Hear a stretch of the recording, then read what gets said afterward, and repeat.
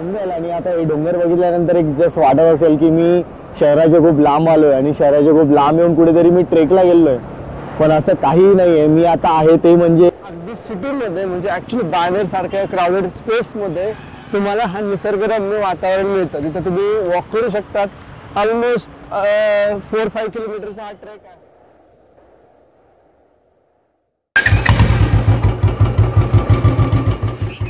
तर आज सकाळी सकाळी आपण ज्या ठिकाणी जातोय त्या ठिकाणाबद्दल आपण जरा माहिती घेऊया. आणि जरा वेळ गप्पा करूया. मित्रांनो पुणेकर आणि पुण्यातील टेकड्या यांचे नाते तसे खूप जवळचेच. आणि पुणेकर या बाबतीत नक्कीच सुदैवी आहेत की पुण्याच्या चारही साईडला संपूर्ण टेकड्या आहेत. मी सह्याद्रीत भटकणारा. टेकड्यांवर आपल्यासारखाच मीही जात असतो आणि त्यांचे सौंदर्य तुमच्यासमोर घेऊन येण्याचा प्रयत्न करत असतो. आज आपण आलो आहोत ते म्हणजे शहराच्या मध्यस्थानी असलेली विठ्ठलांसारखे कमरेवर हात धरून तिमाखात उभी असलेली पुणेकरांच्या सगळ्यात आवडत्या टेकडीला. ती म्हणजेच पानेर पाषाण टेकडीला.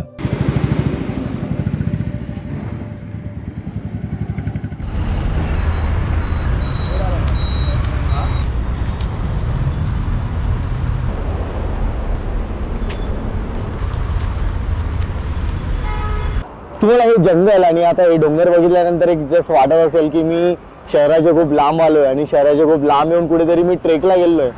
पण असं काही आहे मी आता आहे ते म्हणजे बानेरमध्ये असलेली पाषाण टेकडी जी प्रत्येक पुणेकरांची ओळखीची आणि आवडती आहे. माझ्या उजव्या साईडला जर तुम्ही बघताय तर हा आहे तुमचा मुंबई बँगलोर हायवे. माझं सागर सागरचं खूप दिवसापासून चाललं होतं की आपण जाऊयात कुठेतरी जाऊयात कुठेतरी. चौरावी देवीनंतर आम्ही पुण्यात कुठे गेलोच नाही. आमचा एक प्लॅन तसंच राहिला आहे अजून बट तो अजून सस्पेन्स आहे त्याच्यासाठी सिक्रेट आहे. सो आपण त्यासाठी स्टेट येऊन घेत सो मग कुठेतरी जाऊया. कालपासून चाललं तेव्हा? काल पण आम्ही कुठे गेलो नाही. मग आज मी इथे आपण आता बांधर टेकडीला आहोत. इथे पहिले पण आम्ही आलो होतो बट सागरला घेऊन नाही आलोय. सो मला असं वाटलं लेट्स सागर लेट्स गो आपण बांधर टेकडी एक्सप्लोर करूया. पुण्यातल्या ज्या छोट्या छोट्या टेकड्या आहेत या खूप सुंदर आहेत आणि खूप बघण्यासारख्या आहेत. बरेचसे पुणेकर विकेंडमध्ये इकडे येत असतात फिरत असतात. प्रत्येक टेकडीवर सुंदर मंदिर आहेत. बाणेर टेकडीबद्दल सांगायचं जर ठरलं अगदी सिटीमध्ये म्हणजे ऍक्च्युली बाणेर सारख्या क्राऊडेड स्पेसमध्ये तुम्हाला हा निसर्गरम्य वातावरण मिळतं. जिथं तुम्ही वॉक करू शकतात. ऑलमोस्ट फोर फाईव्ह किलोमीटरचा हा ट्रेक आहे. आणि पुढे एक छान मंदिर पण आहे. तेही आपण बघूयात. आणि खूप निसर्गप्रेमींनी हे सगळं संवर्धन करून ठेवलं आहे. तुम्ही असं बघाल की भरपूर ठिकाणी प्लांटेशन चाललं आहे बरेच काही सी एस एल ड्राईव्ह पण असतात. तर या टेकडीला तुम्हाला जर यायचं असेल तर माझ्या उजव्या साईडला तुम्ही जो रोड बघताय हा आहे पाषाणसूस रोड या पाषाणसूस रोडवरून डाव्या हाताला वळाल्यानंतर तुम्ही या टेकडीला येऊ शकतात. मुंबई बँगलोर हायवे जो आहे, या हायवेवरून ही टेकडी तुम्हाला दिसते. आणि या टेकडीवरून इकडचं जे दृश्य आजूबाजूचं अतिशय सुंदर दिसतं जे आपण आता वरती जाऊन सगळे बघणार आहोत. तर चला जाऊया टेकडीवर. आता या टेकडीवर चढायला आम्ही सुरुवात केली. आणि आम्हाला सगळ्यात अगोदर लागलं ते म्हणजे नवचैतन्य हास्ययोग परिवाराचं एक सुंदर केंद्र जिकडे सगळे लोक छान व्यायाम करत होते. या टेकडीला जाण्याकरता दोन रस्ते आहेत. माझ्या उजव्या हाताला जर तुम्ही बघितला तर तो एक रस्ता आहे. जिकडून तुम्ही नॉर्मली जाऊ शकतात. तुम्हाला जर काही मस्त असं ॲडव्हेंचर करायचं आहे तर छोटंसं ॲडव्हेंचर करता हा एक रस्ता आहे. या रस्त्याने तुम्ही वरती जाऊ शकतात. हा काइंड ऑफ शॉर्टकट पण आहे. आणि थोडंसं ट्रेकिंगचा फील येईल तुम्हाला याच्या आणि थोडा ट्रेकिंगचा फील घेण्याकरता इकडच्या रेग्युलर रस्त्याने न जाता एका छोट्याशा चढाईने आम्ही वरती गेलो. टेकडीचे जे पाण्याचं नियोजन केलेलं आहे ते अतिशय सुंदर आहे. आपण आता टेकडीच्या तिसऱ्या टप्प्यावर होतो. आणि या तिसऱ्या टप्प्यावर आपल्याला हे दुसरं पाण्याचं टाकं लागलेलं आहे. तर प्रत्येक टप्प्यावर इकडे आता पाण्याचे टाके बनवलेत. जेणेकरून इकडे बऱ्याच वेळेस बरेच लोक वृक्षारोपण वगैरे करत असतात छोटी मोठी जनावरं असतात तर त्यांना हा पाणी पुरवठा इकडून आपण देऊ शकतो. आणि हे झाडं सगळे टवटवीत राहावं त्याकरता हे पाण्याचं नियोजन यांनी केलेलं आहे. तसा बाणेर पाषाण हा टेकडीचा ट्रेक थोड्याशा सोप्या विभागात मोडला जातो. कारण की प्रत्येक डोंगर चढल्यानंतर चालण्याकरता आपल्याला एक सपाट आणि सरळ रस्ता मिळतो. त्याच्यामुळे बरेचसे लोक आपल्या फॅमिलीला घेऊन इकडे वीकेंड एन्जॉय करायला येतात. तर या टेकडीवर आपण ज्यावेळेस येतो तर प्रत्येक भागांमध्ये प्रत्येक टप्प्याटप्प्यावर इकडे व्यायाम करण्याचे साहित्य आहेत जिकडे येऊन लोक मस्त व्यायाम करत असतात. टेकडीच्या आपण पहिल्या भागावर पोहोचलोय. पहिल्या भागावर पोहोचल्यानंतर इकडे सुंदर असं हायवेचं आपल्याला दृश्य बघायला मिळत आहे आणि माझ्या मागे जर तुम्हाला दिसत असेल तर ती म्हणजे बुद्धांची सुंदर अशी मूर्ती. तर आता ॲक्च्युली सूर्योदय झाला आणि सूर्योदय झाल्यामुळे ती जी कोमल किरणं पडली आहेत सूर्याची तर ती बुद्धांवर पडली आहेत आणि इकडून ते जे दृश्य आहे ते अतिशय सुंदर दिसतंय. मागे तर संपूर्ण डोंगर रांग आपल्याला बघायला मिळते. आणि त्याच्याखाली आहे तो म्हणजे मुंबई बँगलोर हायवे. आता मात्र सूर्योदय झाल्यामुळे सुंदर अशी सूर्याची किरणं डोंगरावर पडण्यास सुरुवात झाली होती. बुद्धांच्या मूर्तीचं सुंदर प्रकारे दर्शन घेऊन आम्ही पुढे चालायला सुरुवात केली. अगदी दहा मिनिटं चालून पहिला टप्पा पार केल्यानंतर आमच्या नजरेस पडले ते म्हणजे फुलांनी बहरलेले सुंदर असे झाड. पण आता सेकंड टप्प्यावर आलो तुम्ही पुण्यात भरपूर ठिकाणी बघितलं असेल असे पिंक रेड आणि असे लाइट पिंकिश कलरचे फुलं मिळतात. तर हे ना फक्त उन्हाळ्यातच मिळतात आणि ते इतके छान दिसतं तुम्ही बघा झाडांना एकही पान नाही आहे पण ते फुलं किती टवटवीत आहे एकदम छान. म्हणजे भरपूर ठिकाणी तुम्हाला असं बघायला मिळेल आणि मी तर नेहमी नेहमी येतो तेव्हा माझे हे फुलं नेहमी माझे लक्ष वेधून घेतात. खरंच अप्रतिम निसर्गरम्य वातावरण आहे.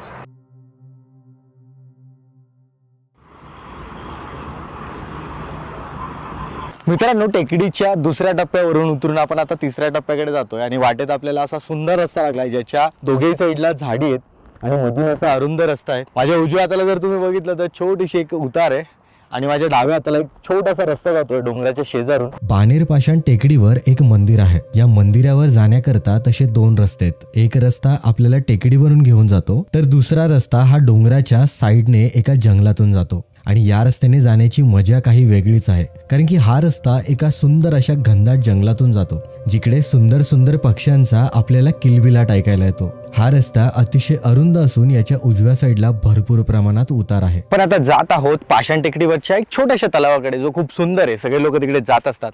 तिकडे जाण्याकरता जो रस्ता आहे तो खूप अरुंद आहे. हा रस्ता खूप सुंदर आहे. जसं आपण मूवीमध्ये बघतो की सगळीकडे जंगल असतं आणि जाताना एक छोटासा रस्ता असतो त्याच प्रकारे. याच्या डाव्या साईडला आहे ते म्हणजे छोटंसं डोंगर. उजव्या साईडला आहे ती म्हणजे सुंदर अशी खोल दरी. दरी नाही म्हणू शकत एक छोटासा उतार आहे. आणि त्या उतारावरून आपल्याला सुंदर असं दृश्य बघायला मिळतं. या जंगलातून मस्तपैकी ट्रेक करत असताना आम्हाला काही परदेशी पर्यटक भेटले. त्यानंतर त्या सगळ्यांनी पुण्याच्या जवळ असलेले सर्व ठिकाणं आणि या टेकडीबद्दल कुतूहलाने विचारण्यास सुरुवात केली. The biodiversity is fantastic. Yeah, you might see some animals. So my genuine views, I think India is one of the most beautiful countries in the world. I'd love to see the rubbish disappear, and I think people overseas who, who've never come here and don't live here, Come in the rainy season, you You mean come in the rainy? Oh, really? Yeah.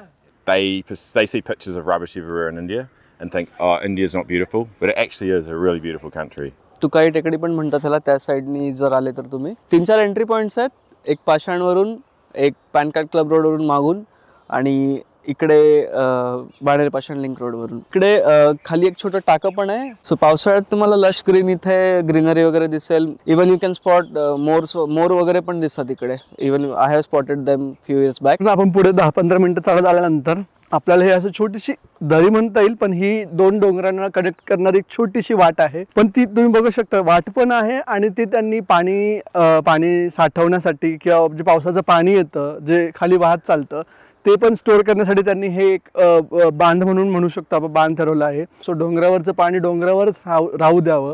खाली वाहू देऊ नये. हा त्यासाठीचा उपक्रम आहे. टेकडीवरून आणि जंगलातून येणारा रस्ता एका भिंतीच्या कुंपणाजवळ भेटतात. तिसऱ्या टेकडीवरून चौथ्या टेकडीकडे जाण्याकरता म्हणजेच मंदिराकडे जाण्याकरता आपल्याला ही भिंत क्रॉस करून जावं लागतं. वाटेत लागते आपल्याला एक भली मोठी पाईपलाईन या पाईपलाईनला क्रॉस करून आपल्याला पुढच्या मार्गाने मंदिराचा ट्रेक चालू करायचा असतो. इथे बायोडायव्हर्सिटी जतन केली जाते. म्हणजे वसुंधरा अभियान चालवलं जात आहे तुम्ही ठिकठिकाणी बघाल तर इथे वेगवेगळ्या पक्ष्यांचे फोटो लावलेत. सिटी आली सगळे झाडं गेले त्याच्यामुळे हे पक्षी उडून गेले. बट ही लोक काय करतात आता की पुन्हा तीच झाडं पुन्हा तेच संवर्धन करून पुन्हा तीच बायोडायव्हर्सिटी तयार करण्यासाठी त्यांनी हे वेगवेगळ्या प्रकारची झाडं लावलीत. तुम्ही बघाल की प्रत्येक ठिकाणी अशी ग्रीन कलरची झाडं लावलीत. प्र आणि प्रत्येक झाडी वेगवेगळी आहेत. काही काही ठिकाणी औषधी वनस्पती लावल्या आहेत काही ठिकाणी त्यांनी जंगलातली जी झाडं असतात ती लावलीत. म्हणजे या इथले हे जे पक्षी आता कालांतराने जे गेले होते ते परत येण्यासाठी जी इकोसिस्टीम तयार करावी लागते ती सगळी इकोसिस्टीम ते पुन्हा तयार करताय. बायोडायव्हर्सिटी जतन जतन करणं प्रत्येकाचं कर्तव्य आहे. Let's call the nature again तर या सगळ्या प्लांटेशनला डोंगरावर तर न्यूट्रिशन मिळणार नाही कारण डोंगरा ऑलरेडी खडका प्रदेश असतो. पण इथे न्यूट्रिशन मिळवण्यासाठी मग ते वेगवेगळी खतं करतात लाईक बायोगॅसची खतं झाली शेणखत झालं तसंच हे जीवामृत पण आहे. जीवामृत हे लोक जे आपण सांगू शकतो ही नावातच हे अमृत आहे. जीवांसाठी एक अमृतच आहे. आता याची प्रिपरेशन कशी केली जाते? सर यात काही प्रमाणात कावडंक म्हणजे शेण काही प्रमाणात काव युरिन म्हणजे आपलं गोमूत्र जॅगरी म्हणजे गूळ आणि जे गव्हाचं जे पीठ असतं किंवा आपले बाकीचे जे पल्सचे जे पीठ असतं ते सगळं एकत्र करून त्यात जवळजवळ दहा पंधरा दिवस ते एक पाण्यात सडवण्याची प्रक्रिया म्हणू शकतो. तसं सडव ठेवलं जातं सडवलं जातं. त्यात जंतूंची जी निर्मिती ती केली जाते आणि ते जंतूंच्या निर्मितीनंतर हे जे मिश्रण आहे हे अतिशय पोषक बनतं झाडांसाठी आणि झाडांना जे अमृत म्हणतो ना आपण खरंच अमृत मिळतं आणि झाडं याने खूप छान राहतात आणि डोंगराच्या भागात पण तुम्ही खूप चांगली व वसुंधरा निर्माण करू शकतात आणि एक बायोडायव्हर्सिटी पुन्हा जतन करू शकतात. तर आपण आता टेकडीवर पोहोचलोय आणि टेकडीवर पोहोचल्यानंतर आपण आता बघतो इकडे मस्त असं जॉगिंग पार्क बनवलंय. जिकडे लहान मुलं इथे खेळतायत. शाळेची सहल आलेली आहे आणि माझ्या डाव्या तला आहे ती म्हणजे वसुंधरा रोपवाटिका. इकडे बऱ्याच प्रकारच्या वनस्पती बऱ्याच प्रकारचे झाडं यांनी लावलेले आहेत. वसुंधरा जॉगिंग पार्क नंतर आम्ही निघालो या टेकडीच्या शेवटच्या टप्प्याकडे. ते म्हणजेच इकडच्या मंदिराकडे. आणि याचं अंतर वसुंधरा जॉगिंग पार्कपासून अगदी पाचच मिनिटावर. इकडे जाऊन मस्त आम्ही मंदिरात दर्शन घेतलं आणि इकडच्या सकाळच्या वातावरणाचा छान आनंद घेतला. तर मित्रांनो आपण आपल्या ट्रेकच्या शेवटच्या टप्प्यावर पोहोचलो आहोत. की माझ्या डाव्या हाताला जर तुम्ही बघाल तर हे आहे बानेर आणि आपण जी एंट्री केली होती जिकडून आपण ट्रेकला सुरुवात केली होतं ते होतं पाषाण.